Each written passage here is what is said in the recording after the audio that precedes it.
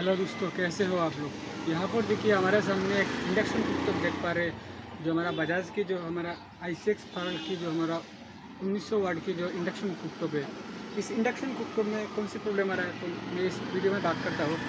मेरे पास जो कस्ट, जब कस्टमर लेके आ रहा था तो बोल रहा है हमारा इंडक्शन कुकटॉप जो है हमारा पावर ले पावर ले रहा है मतलब हीट हो रहा है फिर से बंद हो रहा है फिर से हीट हो रहा है फिर से बंद हो रहा है। ऐसे प्रॉब्लम इस इंडक्शन कुकटॉप में हमारा आ रहा था। तो देखिए, मैंने इस यहाँ पर इंडक्शन कुकटॉप को मैंने पहले से यहाँ पे ओपन किया हुआ है। चलिए, अब देखिए, मैं यहाँ पर देख पा रहे हैं, मैंने यहाँ पर इंडक्शन कुकटॉप को पहले से ओपन किया हुआ है। चलिए, मैं आप लोगों को दिखाता हूँ। अब देख, आप देख पा रहे होंगे, यहाँ पर मैंने इस इंडक्शन कुकटॉप को मैंने पूरा इस पी को मैंने यहाँ से बाहर निकाल लिया। अब देखिए, जब हमारा इंडक्शन कुकटॉप में हमारा जब पावर आ रहा है फ्रिज से बंद हो रहा है तो उसी प्रॉब्लम से यहाँ पर जो हमारा देख पा रहे हैं। पहले तो हम इन सारे कैपेसिटर को चेक करेंगे। कोई तो हमारा ये कैपेसिटर यहाँ से मेरा ब्लास्ट तो हुआ नहीं। यहाँ पर देखिए हमारा बिल्कुल सही दिखने में लगा है। अब दूसरे में हम यहाँ पर पावर आईसी को चेक करेंगे।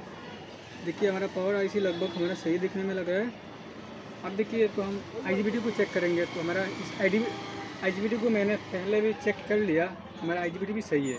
लेकिन तो प्रॉब्लम तो आ रहा है, लेकिन कहाँ से ये प्रॉब्लम आ रहा है? तो इसको हमको चेक करना पड़ेगा।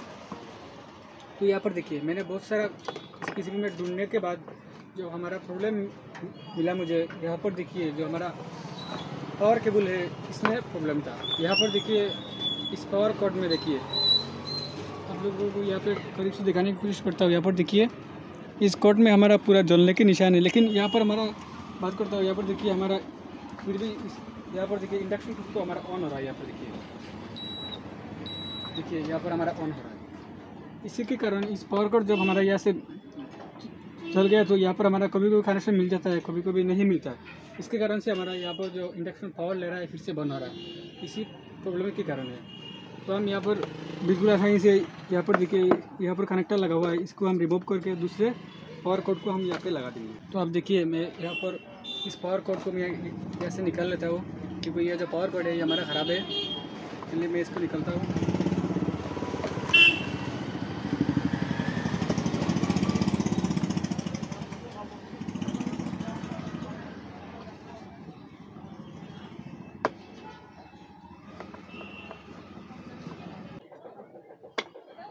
देखिए, यहाँ पर हमारा जो पुराने वाला जो कोड है, ये हमारा निकल चुका है। अब देखिए, मैं यहाँ पर, हमारे पास एक टीजन कंपनी के इंडक्शन कुकर जो हमारा केबल है, ये हमारा अवेलेबल है। अब देखिए, मैं इसको यहाँ पे लगा देता हूँ।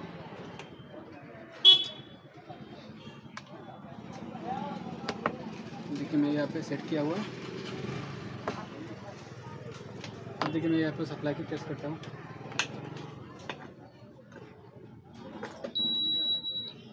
देखिए मेरा ये जो इंडक्शन कुकर है, वो हमारा प्रॉपर काम करने लग गया। पहले जो हमारा प्रॉब्लम था, ये जो हमारा पावर कट की प्रॉब्लम था, इसके कारण यहाँ पर जो हमारा इंडक्शन कुकर जो हमारा प्रॉपर हमारा वर्क नहीं कर रहा था। मैंने इस पावर कट को मैंने रिप्लेस कर लिया। इसके कारण से हमारा एरर आ रहा था। चलिए, आज के लिए इतना मिलते हैं अगले वीडियो में।